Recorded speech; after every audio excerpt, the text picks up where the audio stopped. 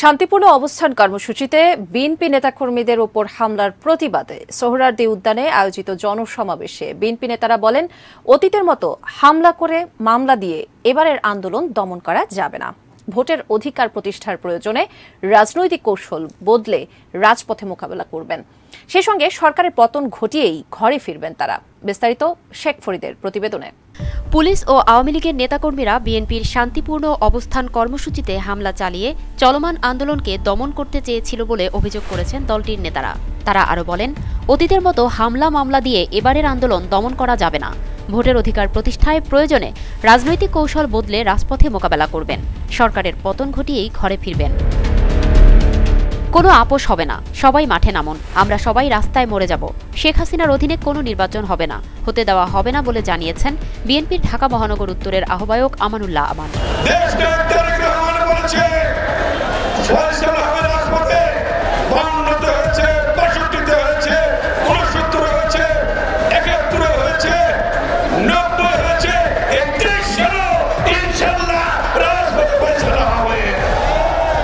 উনত্রিশ জুলাই শান্তিপূর্ণ অবস্থান থেকে তাকে আটক করে পরে হাসপাতালে ফল পাঠানোর ঘটনাটিকে গরু মেরে জুতা দান বলে এ সময় মন্তব্য করেন তিনি।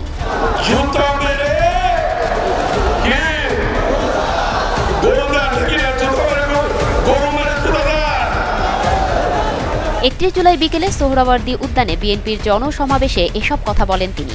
ঢাকার প্রবেশ মুখগুলোতে শান্তিপূর্ণ অবস্থান কর্মসূচিতে পুলিশ এবং আওয়ামী লীগের কর্মীদের হামলা ও গ্রেপ্তারের প্রতিবাদে এই কর্মসূচি পালন করছে দলটি। গত উনত্রিশ জুলাই গাবতলী থেকে আটক করা হয় আমানুল্লাহকে। এ সময় সেখানে তিনি অসুস্থ হয়ে গেলে তাকে সোহরাওয়ার্দী হাসপাতালে নেওয়া হয়। সেখানে প্রধানমন্ত্রী শেখ হাসিনার পক্ষ থেকে ফল ও জুস পাঠানো হয়। প্রতিনিধি পাঠিয়ে আমানের স্বাস্থ্যের খোঁজখবর নেন প্রধানমন্ত্রী। অনুষ্ঠিত জনসমাবেশে আমান বলেন আপোষ হবে না। নাটক করে লাভ নেই। শেখ হাসিনাকে যেতেই হবে। নিরপেক্ষ সরকারের অধীনেই নির্বাচন হতে হবে।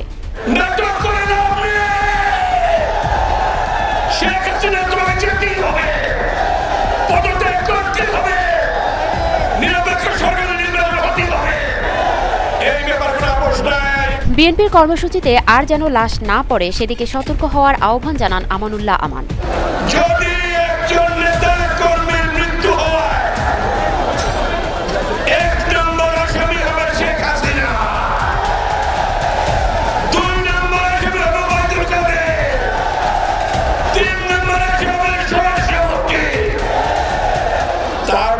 কারা হবে আসামি